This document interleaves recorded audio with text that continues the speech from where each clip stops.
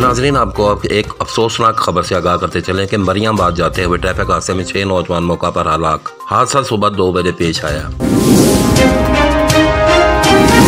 आपको एक दफ़ा फिर बताते चले कि मरियाबाद जाते हुए ट्रैफ़िक हादसे में छह नौजवान मौका पर हलाक। हादसा सुबह दो बजे पेश आया।